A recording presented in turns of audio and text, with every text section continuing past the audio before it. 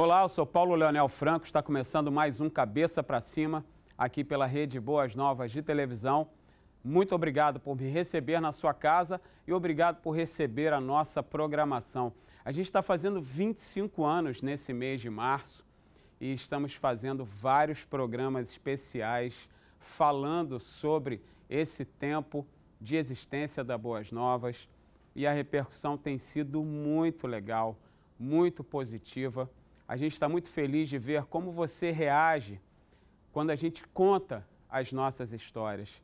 A gente está fazendo isso, nós fizemos né, no Cabeça para Cima, você já assistiu um programa especial apresentado pelo pastor Samuel, pela dona Rebeca, comigo, Celeste, Ana Diava. Fizemos no Boas Novas no Ar vários programas sobre os 25 anos, trazendo apresentadores, trazendo personagens, no Antenados, ou seja, a gente está contando a nossa história para você porque você faz parte disso. Há 25 anos que você acredita na Boas Novas, há 25 anos que você interage, que você colabora. Você já conhece o site da gente, né, o www.boasnovas.tv e através do e-mail de todos os nossos programas você manda suas sugestões, suas críticas, seus elogios e a gente fica muito feliz. A gente fica muito, muito afim de continuar fazendo essa televisão. Agora aqui no Rio de Janeiro, canal digital 5.1, parece que é uma nova etapa da Boas Novas, porque como a gente agora é digital aqui no Rio e em várias outras cidades do Brasil, tem gente que vê a gente e não sabia que nós já estávamos no ar há tanto tempo. Então eu ouço comentários nas ruas dizendo: Poxa, que legal a televisão, que legal aquele programa, que legal aquela, aquele formato, que legal aquilo que vocês fazem. E a gente já está aqui, ó, fazendo isso há muito tempo e vai fazer ainda muito mais, porque a gente gosta de fazer televisão e a gente sabe que você gosta de assistir a televisão que a gente faz. Cabeça para cima de hoje vai falar sobre um assunto que diz respeito a você, a todos nós as doenças de pele. Você sabia que o câncer de pele é o câncer que mais acomete o brasileiro? E você sabia que as doenças de pele, elas causam uma incapacitação para o trabalho que está em quarto lugar no mundo inteiro? Não sabia? Cabeça para cima é para te deixar esclarecido. A gente vai conversar com duas especialistas no assunto, esclarecer para você, tirar suas dúvidas, fazer você pensar sobre isso esse é o nosso papel. A gente vai ao informativo e volta já já. Chega a espantar, mas as doenças de pele representam hoje a quarta maior causa de incapacitação no planeta. Dermatite, acne, urticária e psoríase, transtornos inflamatórios comuns na população, foram as condições com maior impacto no dia a dia, segundo pesquisa da Universidade do Colorado, nos Estados Unidos. O dado inédito vem de uma robusta revisão englobando os registros hospitalares e mais de 4 mil pesquisas publicadas entre 1980 e 2003 ao redor do mundo. Os problemas que podem atormentar a pele, longe de serem só estéticos, têm a ver com uma peculiaridade e tanto. Falamos do maior e mais exposto órgão do corpo humano. Ele está sujeito a vírus, fungos, raios solares, elementos, alergênicos e irritantes é vasto o rol de agressores externos, sem contar que às vezes a enfermidade se inicia dentro do próprio organismo. As doenças endêmicas que atingem, sobretudo, os mais pobres, com dificuldade de acesso a diagnóstico e a novos medicamentos, mantêm o Brasil em um mapa de alerta da saúde pública. É o que acontece com a hanseníase e a leishmaniose, patologias de pele infecciosas e centenárias. Apesar da pouca redução no total de casos de hanseníase nos últimos anos, dados da Organização Mundial da Saúde divulgados neste ano apontam o Brasil em segundo lugar em números dessa doença, só ficando atrás da Índia. Incrível, né? A gente ouve falar em doença de pele e não tem noção da dimensão desse assunto. Importante a gente falar sobre isso. Eu estou com a dermatologista Eliane Abad. Bem-vinda, Eliane. Obrigado por ter vindo. Obrigada, obrigada você pelo convite. Prazer, Prazer. te receber aqui no Cabeça para Cima. Bater papo, né? Isso, ótimo. Esclarecer. Trocar ideias sobre essa importante é, parte do nosso corpo, né? Afinal, nos reveste, é um, um órgão bastante importante. Verdade. Quem está comigo também é a dermatologista da Amacor, Thaís Costa. Bem-vinda, Thaís. Obrigada, obrigada pelo convite. É um assunto bem que faz parte do nosso cotidiano é, e que está muito em alta. Então, eu acho bem interessante a gente discutir isso aqui. A Eliane falou uma, uma questão que nem sempre a gente atenta, eu queria começar por isso, sobre a pele da gente. A pele é um órgão, né? Ele é um órgão responsável por várias funções, né?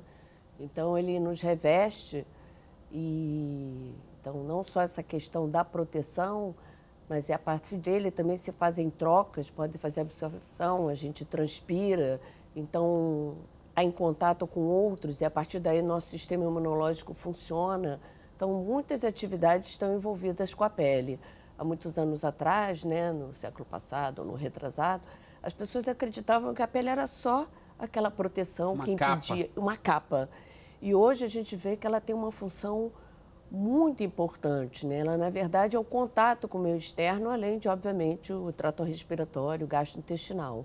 Então, ele tem uma, uma, um fundamento muito importante, não é uma coisa assim tão superficial como se pensava antigamente. É o maior órgão da gente? É o maior órgão É o maior, humano. né? Sim. Que louco, maior que o intestino. Sim. Muita antigamente gente não achavam, sabe não, não, não sabe?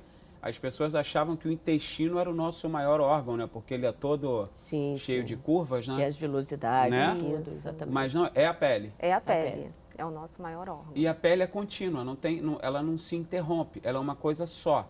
Sim. Ela só tem diferenças de textura. Isso, de camadas, mas é uma coisa contínua. E isso, isso é, diz respeito. Vamos falar um pouco sobre isso para a gente depois falar da questão das doenças. É, quando a gente pensa que a pele é só uma capa, envolvendo os músculos, né, e os ossos, enfim, todos os nossos outros órgãos, a gente imagina ela como uma coisa fechada, uhum. não é verdade? Sim. Como se ela não trocasse, mas a pele é toda vazada. Ela tem os poros, né? E, além, e tem sistemas de trocas nesses poros. Né? Hum. A transpiração, que é uma coisa que todos nós observamos, hum. já é uma forma de, de, gente, de você perceber. É. De você perceber isso. Então, por exemplo, bem, bem simples, né? Quando aquece, nós transpiramos, que não a gente ia ter aumento da nossa temperatura corpórea. Uhum. Então, isso faz um equilíbrio. Né? Então, isso é uma das importantes funções. Aí, além disso, a gente na pele tem uma gama de receptores né, que são capazes de, de reagir com coisas que a gente a tem queimaduras, a porosidades, a texturas. Sim, texturas, texturas diferentes, né? Sim. Tem, dependendo da, do local. As glândulas sebáceas também, Isso. né? Que são importantes para a gente ter a, a, a transpiração. Isso, a produção, né? de, a produção de sebo, sebo para proteção da pele, ao contrário do que as pessoas acham que, por exemplo, no banho tem que passar sabonete toda hora, é, tem que tomar vários banhos por dia. Não, isso tira toda a nossa proteção. Então, o ideal é ser sempre um banho um pouquinho mais rápido, principalmente quem tem pele ressecada, passar um sabonete bem rapidinho, de preferência com uma temperatura mais fria do que morna, porque o sebo ele é o que protege a nossa pele das bactérias, do fungo, é, é a nossa camada protetora. Já me falaram, inclusive, que a gente não deve passar sabonete no banho, assim, a não ser nas partes íntimas, axilas e tal, mas que na pele, no corpo, o ideal é não passar. É isso? Ou passar de vez em quando? Não passar sempre? Olha, não. Vou... É, deixa lá. Não, assim, na verdade, você não é que você. É que vai depender um pouco. Existem, eu vou entrar um pouquinho nas doenças. Existem uhum. algumas doenças em que a pele do indivíduo é muito, é extremamente seca. Hum. Então, qualquer sabonete vai acabar tirando a pouca gordura que resta. Então, nesse sentido. Que é essa né? gordura protetora. Que é essa gordura protetora, protetora que a pessoa já é bastante escassa. Hum. Então, se você utiliza sabonetes, você vai remover, porque o sabonete, pela própria composição química, vai retirar, né? Então, isso é importante. Agora, outras pessoas já têm mais oleosidade, isso. né? E aí a gente pode abusar um pouco mais mais. do Um sabonete. sabonete. Mas, de qualquer forma, como sempre, todo exagero não faz bem, né? Legal. E, e, aí, esse nosso órgão enorme, é, que está exposto o tempo inteiro, a gente nem se dá conta disso, mas a gente pega nas coisas, a gente se cumprimenta, a gente encosta em portas, em maçanetas, a gente segura, quem anda de transporte público segura nos ônibus, você, o tempo inteiro você está trocando. Fora o fato de que você está vivo, andando para lá e para cá. Claro. E aí a gente começa a ter questões ligadas ao fato de funcionarmos assim. São as doenças de pele. Quais são as mais comuns? Eu queria começar perguntando se toda doença de pele é uma dermatite. Não? Não. Então, me explica isso, Thaís. A dermatite ela é um processo inflamatório, tá? Que a gente fala grosseiramente, é um processo alérgico, né? Onde você tem uma inflamação maior no local. E existem vários tipos de dermatite. É, uma que a gente pega muito em criança é a dermatite atópica, que é um processo alérgico que dá mais na face, regiões de dobras, dão placas com, com coceira. Geralmente pode começar com dois meses de idade.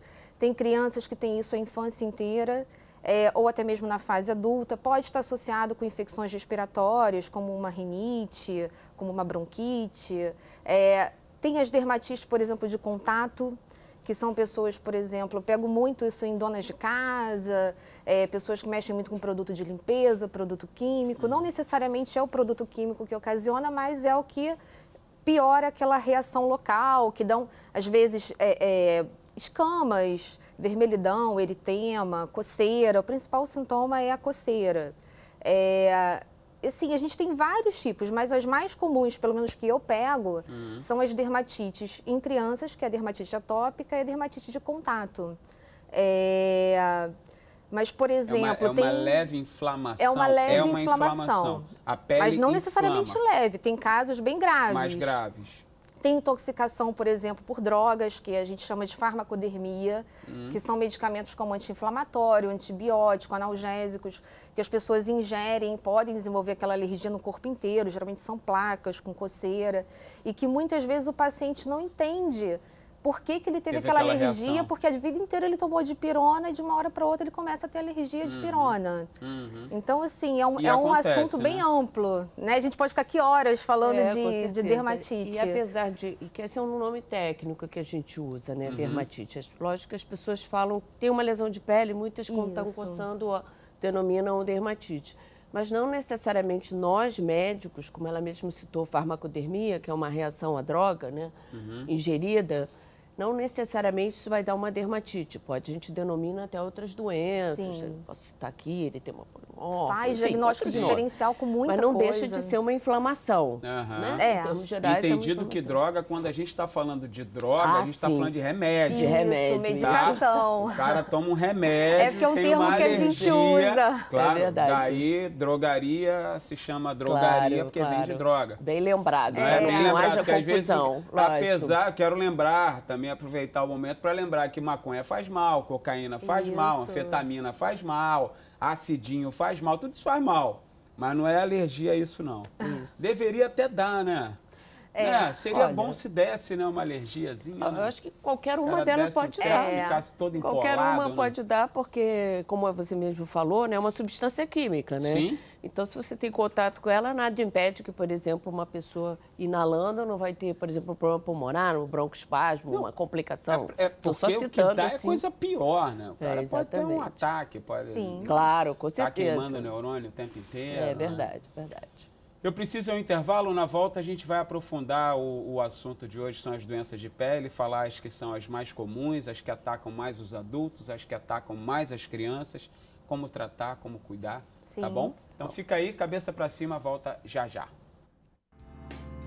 Cabeça pra cima. Cabeça pra cima. Cabeça para cima de volta hoje falando sobre doenças de pele. Eu estou aqui com a Eliane, com a Thaís, dermatologistas, feras. Já estou cheio de perguntas de telespectador aqui que chegam no intervalo e você em casa já sabe. Cabeça para cima, arroba, boasnovas.tv. Manda suas perguntas, a gente responde, a gente te ajuda a entender. Vocês viram que quantas dúvidas, né? Quantas, Verdade. quantas questões as pessoas colocam. A gente vai falando, vão aparecendo é, perguntas o tempo todo. Bom, Vamos lá. Quais são as doenças de pele mais comuns nos adultos? Que eu tinha feito essa pergunta e a gente não falou. A gente só falou de dermatite e ela é, pode ser criança, pode ser adulto. Nos adultos, o que, que, que, rola mais nesse universo nosso? Olha, Mais assim, a comuns. minha experiência diária, eu pego muita psoríase. Uhum. O que, que é psoríase? Explica, Thaís. A psoríase é um processo inflamatório da pele, onde as nossas células de defesa do organismo, que são as células T, é, elas começam por algum mecanismo a, a- a- a- trabalhar contra a gente, tá? A produzir processos inflamatórios. autoimune? É autoimune. E aí começam a surgir, às vezes, manchas, placas, tem vários tipos de psoríase. É, a mais comum é a psoríase vulgar, que é a psoríase em placas, que começa geralmente pelas articulações, como o joelho, cotovelo, mas pode Cotovelo. dar em qualquer É parte tipo do corpo.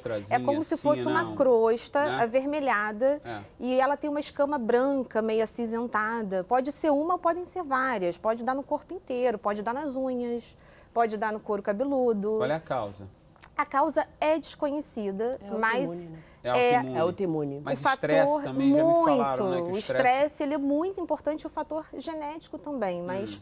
O mais importante, eu acho que hoje o que a gente mais pega são pessoas ansiosas, estressadas, deprimidas, Hum. Ou seja, né? então, psoríase é uma doença do mundo moderno, né? Exatamente. O que a gente mais tem é gente ansiosa e, e estressada. muito. É, na verdade, era uma doença bastante antiga, né?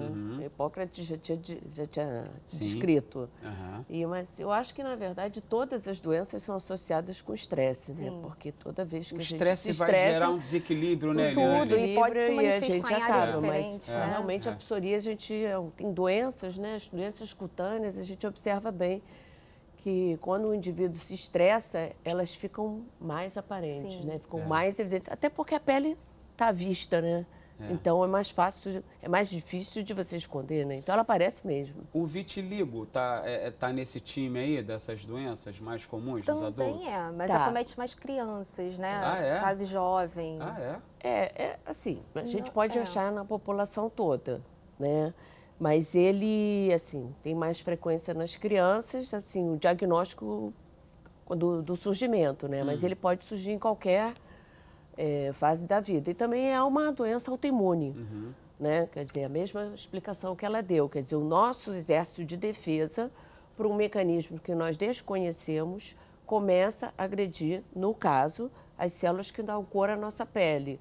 E com isso, elas agredidas, elas param de produzir o pigmento.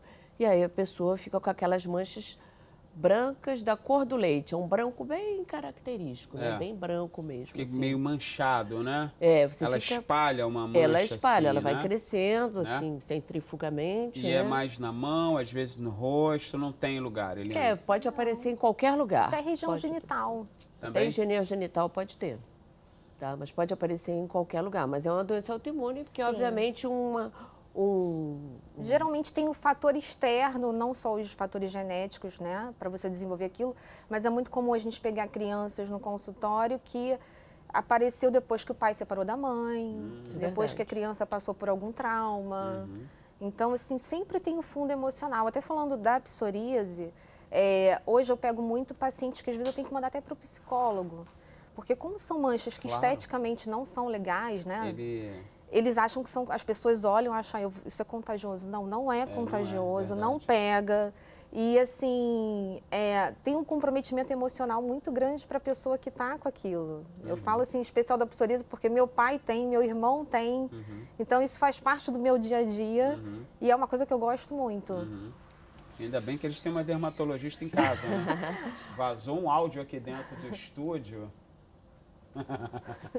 acontece isso às vezes. Às vezes a gente está aqui, acontece, vaza um negócio assim, mas a gente não para, não. É, ainda bem que tem uma dermatologista em casa, né? Santo de casa não faz milagre. Não trata do seu pai e do seu irmão, não, Thaís? Tento, mas não consigo. É difícil, difícil. né? É difícil. É Em casa. E são homens, né? Homem tem uma É. dificuldade, né? tem, De ir a tem. médico, Eles não né? gostam muito, né? Que de, coisa, de Tem mais né? resistência. mais resistentes, né? Você falou de Hipócrates, as doenças de pele, elas são anteriores a ele, Ah, né? com certeza. Né? Ele que começou a descrever. Ele começou a descrever, né? descrever. Mas olha, são doenças, quem, quem conhece aí, se a gente for falar aqui de, de- da Bíblia, de coisas Isso, antigas, exatamente. várias doenças descritas, não é? E alguns milagres associados, inclusive, a doenças severas de pele. Uhum. O que, que é o pano branco? Pano branco tem a ver com vitiligo ou não tem nada a ver? É Não. outra coisa. Não, Não, é é um apelido do coisa. vitiligo. Não. Não. Não. O que, que é o pano, Pano branco? branco, ele é a versicolor, que é um Traduz, fungo. Thaís. É um fungo proveniente do nosso couro cabeludo. As pessoas não sabem, mas o nosso couro cabeludo ele é cheio de fungos. Quando a gente fala isso, paciente, mas o meu couro cabeludo, o meu, o seu, de todo mundo. Ah, E aí, geralmente, nas todos épocas. os nossos couros cabeludos todo têm fungo. mundo tem fungo. É, que é da nossa microbiota, É da- né? é. São coisas que nós Isso. temos na superfície que até nos protegem, às Claro, vezes. Causa claro. até um equilíbrio. Aham. E aí, o que, que acontece? Por uma questão, às vezes, uma situação de baixa imunidade, como, por exemplo, o calor, o verão, o sol, ele abaixa a nossa imunidade. Então, é muito comum a gente pegar isso em época de pós-praia, pós-verão, é o que mais aparece no consultório. E aí começam a dar manchas esbranquiçadas pelo corpo, né, que pode ter alguma descamação, pode ter uma variação de coloração, pode ser avermelhado, acinzentado. Geralmente começa pelas costas, assim, o mais comum, não é uma Umas regra. manchinhas pequenininhas, brancas, assim. Sim. Mas elas que podem se juntar tá- e voltarem Isso, E voltar ficar em mais placa. extensas. É. Hum.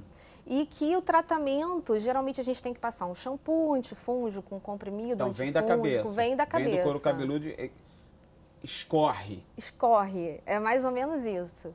E aí a gente tem que passar a pomada e o paciente às vezes não entende que tem que usar isso tudo. Ele acha que usar só um shampoozinho uma vez por semana resolve. E aí cria uma certa resistência ao tratamento e às vezes fica meses com aquilo. Aí ele fica pulando de médico em médico porque ele acha que você não resolveu o problema dele. Uhum. E, e também é um- uma dúvida, né, que falaram aqui foi da caspa. Sim. A caspa ela é a dermatite seborreica, Aham. né? Ela é, é, da, é do sistema da microbiota nossa, mas é uma tendência genética da pessoa a ter, Uhum. tá? É um excesso de oleosidade do couro cabeludo, não tem cura. É uma outra coisa que o paciente chega, senta na minha frente e fala: Olha, você é a quinta médica que eu venho, e eu já fico arrepiada. Quando fala que você é a quinta. eu quero a cura. Exatamente. Você põe de joelho, ora Eu já, por ele. já usei o shampoo tal, tal, tal, tal, tal. Aí eu penso assim, o que, que eu vou prescrever para ele? Porque não tem, Não tem cura, cura. Mas tem muita Caspa relação tem com o estresse. Ah, Tratamento, Entendeu? tem um controle, né? É, vai- Geralmente a pessoa que tem muita caspa, sem controle, você pergunta se é estressado? Muito. Muito. Então o estresse, você está vendo que ele é responsável por claro, tudo. não, por muitas questões. Esse- inclusive, eu vim até de um, de um congresso agora em São Paulo, onde professores da USP estavam falando da importância que tem hoje você ter um controle, um equilíbrio da mente com o corpo. Claro. Então, está muito em alta essa questão da meditação, do yoga, que não tem nada a ver com religião, Não. tá? Isso é uma Claro. filosofia de vida. Claro. Então, isso, assim, é o, é o assunto do momento, é Sim. você fazer terapias... Discutimos várias vezes essas questões aqui no Cabeça Isso. pra Cima, Thaís. Porque tem gente que fala assim, ah, mas eu vou Meditação, ficar yoga. meditando. Cara, é uma coisa que para nossa mente, para o nosso equilíbrio é maravilhoso. Isso. Fala, fala, Eliane. O que você ia Não, falar? na verdade, eu é, concordo com ela e muitas vezes as pessoas precisam compreender que como é uma doença crônica, você precisa usar vários tipos de medicamentos, até Isso. porque, como o próprio paciente fala, parece que se acostuma. E Parece que ele, ele vira uma. É, exatamente. É como se o organismo arrumasse um mecanismo de já não responder àquela substância que você está usando e você precisa alternar mesmo, faz parte do Isso. tratamento. E essas é manchinhas brancas que a gente está falando, do, do pano branco, Sim. e essas que, a- que as grávidas desenvolvem? Isso é melasma. Melasma. Melasma. Melasma. Também é uma doença de pele? É, é uma doença estética, né? Na verdade, Ah. o que acontece é que algumas pessoas têm uma predisposição genética para ter mais pigmentação em algumas regiões, que pode ser na face, que é o lugar que chama mais atenção, mas ela também pode dar no colo, nas costas, nos braços. E depois passa? Olha, tirar é difícil, porque É. nós vivemos num país muito ensolarado e ela Mas o depende do melasma sol. não tem nada a ver com a gravidez? Ele pode que que ser grávida desencadeado. Ah, Na verdade, por causa da imunidade. Toda Hum, grávida ela tem uma tendência a ter um- um- Uma uma, imunidade mais baixa e aumenta a produção de melanócitos, que são as células que dão cor na nossa pele naquela Hum. região. Mas pode ser pelo uso de anticoncepcional. É, Ou não, tem mulheres que não usam anticoncepcional, não estão grávidas e tem porque é uma tendência é, é, genética, da Genética pessoa ter aquilo. E o sol. E- O principal prejudicial. fator é. o sol. É, o sol estimula né, a produção, né? Tanto é que a gente fica morena, né? Quem tem mais Sim. melanócito fica morena. Sim. Quem é muito Isso. claro não fica É, morena, mas fica não É o vermelho. nosso caso, né, Eliane? É, A é o gente nosso caso, é o nosso caso. E, na verdade, assim, também durante a gestação, é como uma coisa fisiológica, até para proteção, a gente tem o aumento do hormônio que escurece a nossa pele. Então, a gente observa que em outros lugares da gestante, ela também aumenta o escurecimento, como os mamilos, Aquela linha abdominal. é, aquela linha abdominal, é, nas axilas, na virilha. Isso tudo tem um significado de como que preparasse o corpo para uma situação, vamos dizer assim, mais adversa, vamos dizer assim. Não é isso, mas é porque o nascimento é um estresse, é uma solicitação. Claro. Então, na tá verdade... tudo direcionado para Exatamente. Então, evento dentro E aí, do corpo, obviamente, né? que como essa liberação é central, os lugares que pigmentam mais vão ficar mais pigmentados, mesmo que possa não parecer, não fazer sentido, vamos dizer assim. Aham. Essa parte fisiológica do, do- da parte de Do escurecimento. E aí a pessoa que tem já essa predisposição para fazer essa pigmentação, ela vai fazer na fronte, que é onde chama mais na fronte, aqui nessa região aqui, malar. E isso para a mulher é uma coisa assim bastante o desagradável. Elas brigam muito e é uma coisa. E o difícil é que nós vivemos num país extremamente ensolarado e um dos principais tratamentos é não tomar sol. Pois é. Aí E fica usar difícil, filtro, né? né? Só Seja faz mal, né? Seja passeando na rua, de qualquer forma você tem que fugir do sol para não ter essa mancha. Mas não é uma doença, né? Não, Não é não. uma doença. Só que não tem cura, então isso acaba gerando também essa questão da pessoa querer a cura. Da própria ansiedade pela A ansiedade. cura. Então, a gente, já é tem que usar filtro solar. Já tem o estresse e descobre que não tem cura e que ela tem que fazer um Isso. tratamento a longo prazo, E não só praia. para Ah, sempre, Por exemplo, né? pessoas que trabalham é, em Não, locais aqui, essa fechados com aqui em lâmpada, cima isso também gente, mancha a nossa essa pele. luz também. A, a, a minha mulher tem uma paciência de manhã que é, é- eu acho que é relacionada ao gênero, porque ela passa protetor solar todos os Tá de dias parabéns. de É, manhã. com certeza. Que Eu bom, não bom consigo hábito. passar uma pomada, ela passa todo dia. É hábito, tudo é, É costume. hábito. E ela fala, às vezes eu, eu, eu não apresento sempre, mas às vezes apresento, e estou dentro de estúdio o dia inteiro, essa luz faz mal, né? Uhum. A gente tinha que estar de protetor solar, né? Exatamente. verdade. Reaplicar de duas em duas horas. Meu Deus do céu. Já pensou? Eu nem me imagino, eu não estou querendo desanimar você, meu querido telespectador do Cabeça.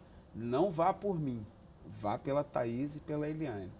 Protetor solar de duas em duas horas. Isso, a partir dos Tá seis vendo? meses de idade. Apesar, a partir de quê? Seis meses de idade. Meu Deus. É verdade. Quer ficar bom? Tem que seguir as orientações das nossas dermatologistas. Vou para o intervalo e volto já. Cabeça pra cima, Cabeça para cima de volta, hoje falando sobre doenças de pele. Eu estou aqui impressionado com a quantidade de doenças de pele que nos acometem.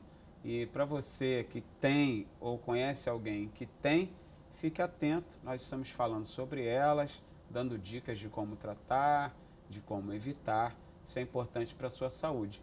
E a Thaís falou no bloco anterior uma questão que diz respeito ao nosso bem-estar, que é a busca do equilíbrio. A gente vem falando sobre isso aqui em muitos programas, quando a gente trata de alimentação saudável, de meditação, uma busca pelo exercício físico. Não tem milagre, não, não tem fórmula mágica. Não, não adianta você imaginar que você de um dia para o outro vai ficar bom se você não buscar essa, esses caminhos. O caminho da alimentação saudável, do exercício, da meditação, da oração, são coisas completamente diferentes. Orar e meditar são coisas diferentes. Mas busque também. A gente é, a gente é integral desde quando o Leonardo da Vinci desenhou aquele cara, né? É É, mente, corpo espírito. A gente tem que buscar essa integralidade para poder ficar bem. E e você só vai fugir do estresse, aí vai fugir dessas doenças autoimunes ou de todas as outras que vem e advém do, do nosso estresse do cotidiano, quando você busca caminhos alternativos que deveriam ser os caminhos obrigatórios, ter amigos, rir com eles, ficar bem com a sua família, amar as pessoas, ser amado, gostar do que você faz, buscar a paz do espírito que está tranquilo, que que está ciente do que tem que fazer. É que infelizmente a maioria de nós ou a maioria das pessoas elas moram longe do trabalho, elas É enfrentam verdade, duas, três horas por dia dentro de um carro, ou dentro de um ônibus, ou dentro do A metrô. violência, a né? violência que nos deixa inseguros, é grana, é, enfim, Crise. a crise, o Temer. Mas é mentira. é brincadeira, presidente.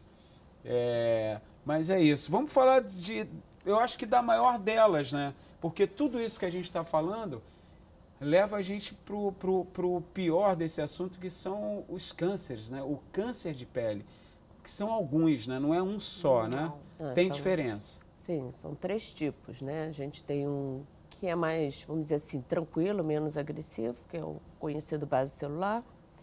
Tem o espino celular, que é de moderado, e tem o melanoma, que é bastante grave, que pode levar a óbito se esse diagnóstico não é feito precocemente. Feito tardiamente. né? Então, isso é muito importante, a pessoa ter essa noção, observar manchas e tudo, e se ver alguma coisa diferente na pele, sempre procurar um profissional, né? seja no posto de saúde, na saúde da família, enfim, ou ainda consultórios, mas procurando avaliar se aquilo ali é uma coisa de, enfim, inócua ou se tem algum problema mais grave. Mas o câncer de pele é bastante prevalente, né? Dos mais prevalentes.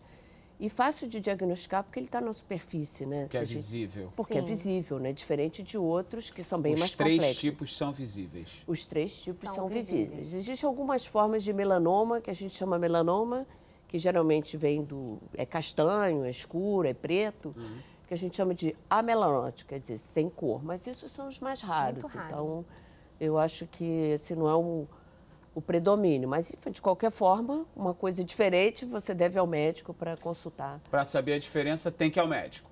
Ah, tem tem que que consultar. Um, Tem que um- um consultar. dermatologista, o dermatologista é o primeiro profissional a ser consultado quando você tem qualquer problema na pele. Sim, mas tem pessoas que às vezes não têm acesso. Acesso. Hum. Então, é o que a doutora falou, você pode ter num posto de saúde um, um médico que não é dermatologista, mas que ele, pela experiência clínica, ele sabe identificar. É, porque isso faz, assim, a gente formação. pega muito isso, principalmente pessoas idosas, aquele vovozinho que tem um machucadinho no nariz, que nunca sara, que tá com uma crostinha lá, que é um pouquinho, é, é, parece uma crostinha de sangue, que ele vive arrancando aquela casquinha volta. e volta. Isso é muito comum no vaso celular. Exatamente. Que a gente pega muito em áreas daqui. expostas. E que é face, claro, pescoço. mais fácil maior de você ter esse tipo de, de problema. Isso. Esse é o mais simples. O vaso celular é o mais Isso. simples. É o mais um, Sim, que um- você Tranquilo. retira. Não, que você e não, tira e tal. Ele não O do invade. meu espino mais- celular. É o espino Isso. E celular. qual é a diferença do espino para o vaso? Olha, às vezes na imagem, olhando, é exatamente a- é são muito, Muito parecidos. parecidos. A questão é que aí você vai fazer um exame que se chama histopatológico, é biópsia, você tira um pedacinho e avalia, e aí você vê. E o espino celular, ele, ele tem essa característica de ulcerar mais, entendeu? Isso, E mais de localizar mais em mucosas. Dá que muito são em essa regiões, parte às vezes, de ferida, né? Exatamente. De uma cicatriz, uma- aquela ferida, às vezes, que você vê. Eu já peguei muito em pacientes que têm varizes, má circulação, às vezes dá uma Feridas feridinha ali que crônicas. nunca fica boa.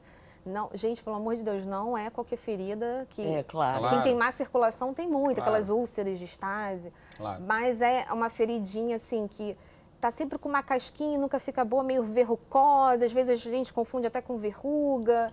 É, é, assim, tem que ter uma experiência maior esse para você identificar. É. E o melanoma? E o melanoma, ele é uma mancha escura, castanha, negra, e tem umas determinadas características que a gente observa que está aquela a lesão, porque ela pode ser confundida, muitas vezes elas vêm dos sinais. Esses sinais que a gente tem marrons na pele.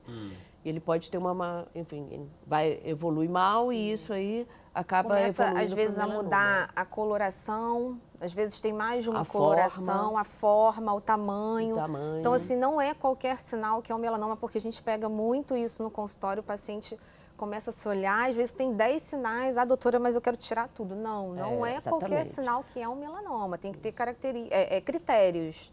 Então, a gente vê se a lesão é simétrica, se é assimétrica, se a borda está regular, está irregular, a coloração, o muitas cores, diâmetro, né, crescimento, atenção. assim, começa a crescer muito rápido, Rápido. mudar muito de cor. Então, é uma coisa que tem uma lesão assim, procura um dermatologista para poder fazer uma biópsia. Esse é um conselho que a gente tem dado ao longo de alguns programas que nós produzimos aqui em relação à saúde e principalmente eu brinquei com você na questão do seu pai e do seu irmão, mas principalmente o homem, inclusive fizemos um programa sobre saúde do homem. O homem tem muita dificuldade de ir ao médico. Eu não sei se é uma questão cultural, né? As meninas elas são levadas ao médico desde sempre pelas mães. E o curioso é que as mães não levam os meninos aos médicos desde sempre. Levam ao pediatra até uma determinada idade e depois não leva mais. Como a mulher tem a questão do ginecologista, que é um, um profissional que acompanha a vida dela, ela tem mais facilidade. Mas a gente percebe que apareceu qualquer coisa, tem que ir no médico Sim. uma manchinha, é, eu tô com uma manchinha branca, vai no médico. Eu tô com um nariz não sei o quê, vai no médico. Vai procurar. Qualquer indicativo, vai procurar, né? É, e assim, muitas vezes, assim, existe um treinamento em que se faz, em que atualmente se, se faz, em que você tenta atualizar os profissionais de saúde da ponta da saúde pública, no sentido deles também terem acesso a esses diagnósticos, não que eles vão resolver, Sim, mas mas um pelo olho, menos né? ele Um olho olhar clínico. e dizer assim, acho que isso pode ser, vamos encaminhar para um hospital ou para uma unidade que tenha mais Aham. recurso e que possa identificar isso. Né? E a gente também tem os recursos técnicos, né? tem dermatoscopia, outros Isso. instrumentos, que aí o dermatologista é habilitado, é treinado, e ele consegue identificar isso. E quanto, como qualquer doença, quanto mais precoce, melhor é o resultado. Essas doenças de pele, todas essas que a gente falou e, é- e ainda existem algumas para a gente conversar, mas elas têm idade para começar? Ou a gente vai ter quando é criança e ela vai se prolongar? Ou não? Elas.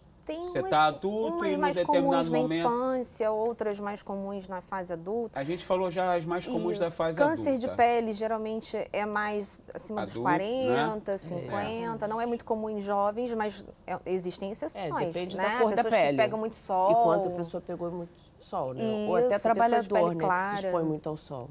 E quais são as mais comuns nas crianças? Eu tenho aqui Uma pequena lista. brotoeja, Molusco. assadura, molusco, verruga, sarna. Isso, Olha, isso tudo pega em criança? Isso é tudo desde pega criança? em criança, é bastante prevalente em criança. Tem umas que são exclusivas, mas assim, bem mais comum. Vamos falar um pouquinho de, de cada uma né? delas, falar um pouquinho de brotoeja, que é uma coisa comum, né? É, broto, é comum. brotoeja é comum. doença? Ou é uma irritação? É porque cria, é, uma, doença. irritação, mas Ah. é porque cria exatamente, dá um problema, até um transtorno bem desagradável, seja para criança. Na verdade, é dos extremos, né? Hum. Você vê em criança e vê em idosos, né? Porque o, o idoso às vezes perde essa noção do calor, da temperatura corpórea e às vezes ele não tira a roupa, então ele começa a transpirar e Fica isso muito acaba dando agasalhado. problema. E é bastante comum nas crianças, e é- muitas vezes isso é descrito na literatura como uma certa imaturidade das glândulas de, de transpiração, e que aí, por algum motivo, elas. Seria, digamos assim, como se ela tivesse uma fratura e aí acabasse isso gerando uma inflamação no lugar. E aí a criança coça, e aí daí são Ou decorrentes seja, está várias associado coisas. ao calor, a Calor. brotoeja. Tá associado ao Por isso que dá calor. mais em regiões É de calor. Por isso que é dobra. pescoço em criança, Isso, né? que tem aquele pescocinho A assim, dobra né? atrás do A joelho, dobra. Eu falo né? para as mães assim, A olha, a criança ela tem a nossa dela, né? temperatura, porque ela acha que tem que agasalhar a É, criança toda. Sim. Isso é um problema Se sério. você está com calor, o seu filho também com, está com com, certeza. calor. Essa é uma É dica verdade. que os médicos pediatras dão pra gente quando a gente tem filho pequeno. Se você tá com calor, seu filho também tá. Tá com frio, também tá. Não fica achando que, ah, vou agasalhar e tal. E às vezes a criança, até porque a criança tem um metabolismo mais acelerado, ela tem até um, um pouco mais de calor do que os adultos. Tem criança que quando dorme transpira, isso é bastante comum. No couro cabeludo, que também é uma coisa que as pessoas não percebem, e essas bolinhas, essas vermelhidões, também podem dar no couro cabeludo, que é a brotoeja. A assadura pode virar brotoeja ou não tem nada a ver uma coisa com a outra? A assadura é só uma irritação de contato.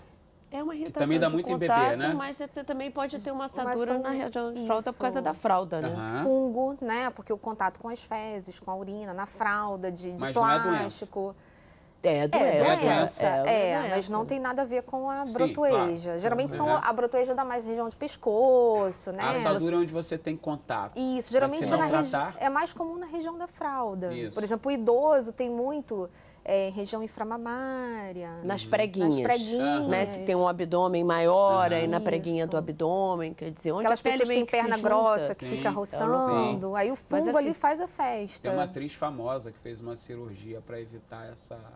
Lembrei agora, você falou, lembrei. As pernas eram grudam assim, né? Criança também tem muito isso, né? Tem, tem o Aí atrito, tira né? essa gordurinha aqui assim. É, que mais, criança, assim, que vem na cabeça de vocês? Ah, molusco, que é uma Molusco. doença assim, bastante desagradável para as crianças, né? Que, E na pra gente também. E para a gente também. A gente também não gosta Porque dos o que, que é o moluscos. molusco, Eliane? Molusco é uma doença viral, Hum. tá? Que dá na pele, bastante frequente. E o que, que é? O que, que é?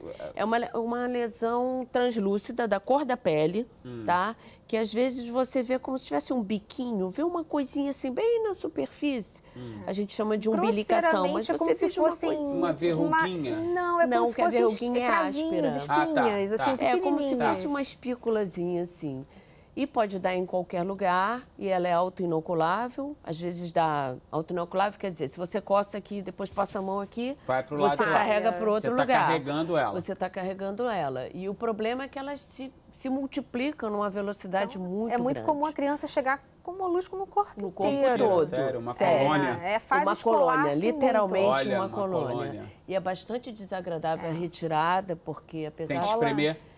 Espremer, ou então nós fazemos a curetagem, que é Curetagem. como se você, assim, fazendo um Raspasse. paralelo, uma É. raspagem. Aí você imagina uma criança de dois, três anos, o escândalo. E é difícil. Né? O pai tá nervoso, a mãe tá Claro. nervosa. É, na verdade, eu sempre falo que isso parece uma tortura medieval, porque apesar da medicina ter evoluído muito... Pra isso ainda não é Para isso, e como é uma doença assim inócua, o problema é que aumenta, né? Uma criança em contato com a outra acaba acaba, Acaba pegando, passando. Passando, mas na verdade assim ela não vai fazer maiores transtornos, né? Mas enfim, no Brasil ela é, em alguns países as pessoas não, não fazem nada com ela.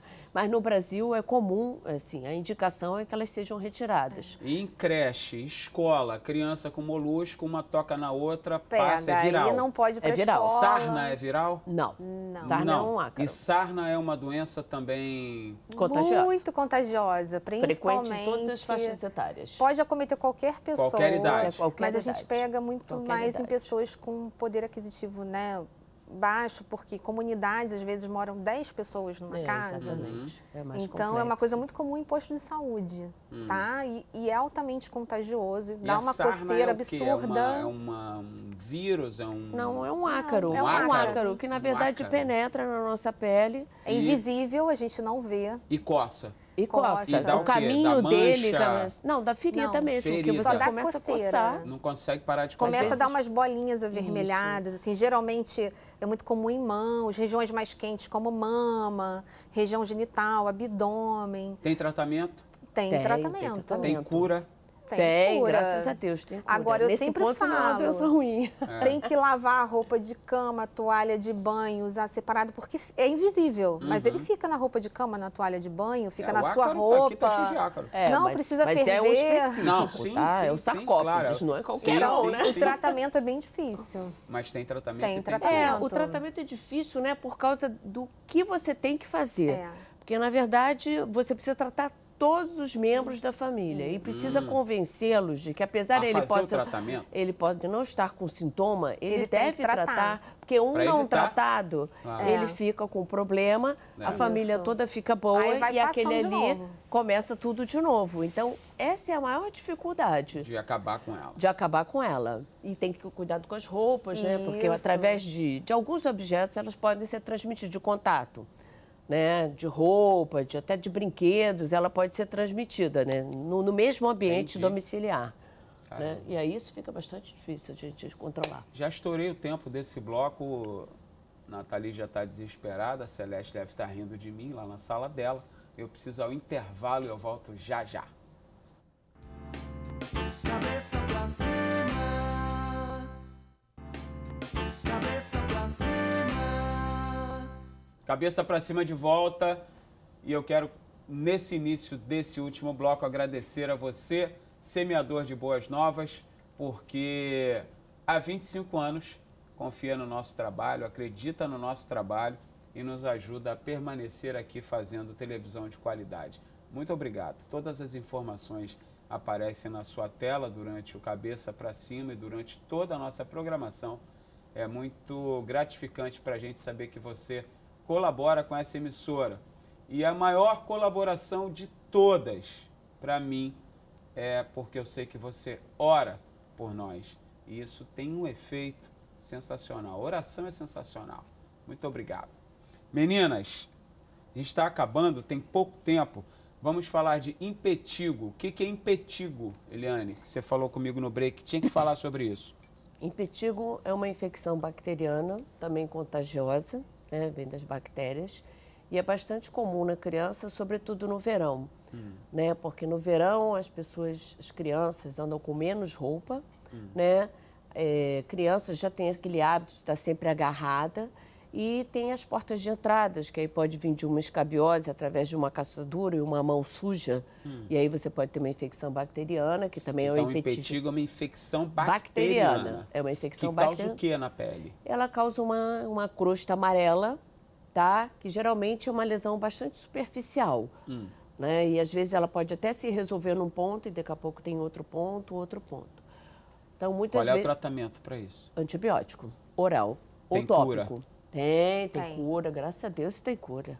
Graças a Deus nós temos que Eu acho que de atentos. todas as doenças que nós falamos, só caspa não tem cura? Não, psoríase, não tem Psoríase, cura, não tem vitiligo não cura, tem não cura, tem mas Psoríase, controle. vitiligo, caspa, Dermatite. Essas Dermatite, dermatite- de seborreica, dermatite atópica. mas não tem cura, mas tem tratamento. Não, tem Exatamente. controle. Tem que é o que a gente controle. fala. Tem. Isso. As outras todas têm cura. As outras Rosácea. Tem uma Tem controle. rosácea. Tem Tem controle. controle. Tem controle. Tem controle. Quem tem vai ter sempre. Quem tem é predisposto a ter. Ter.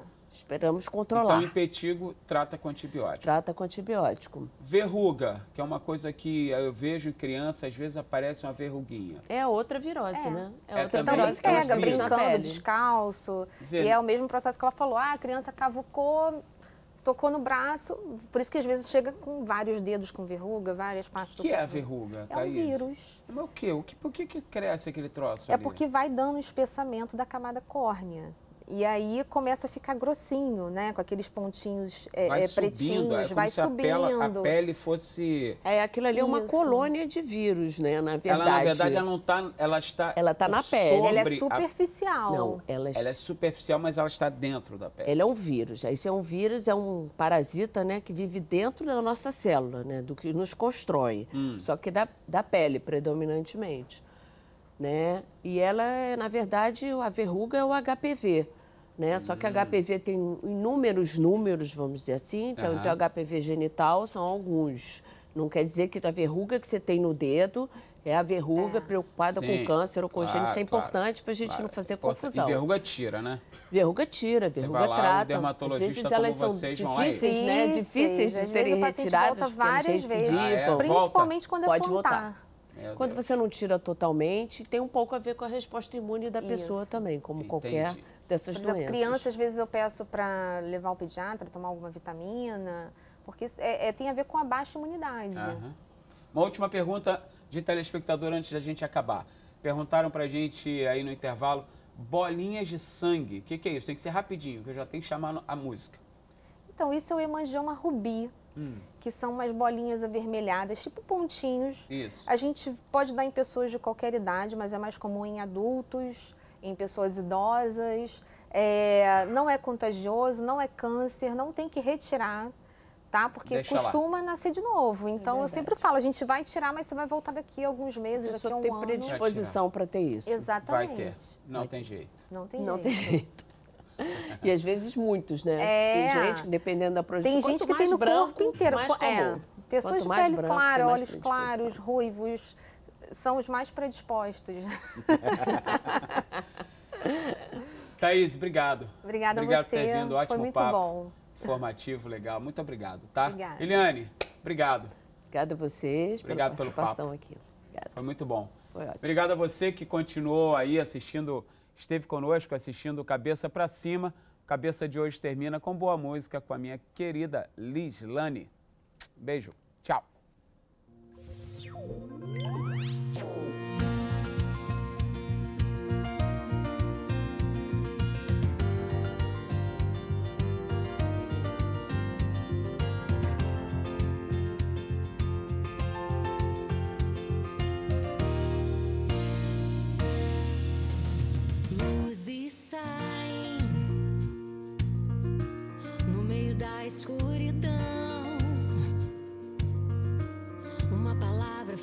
Escuridão.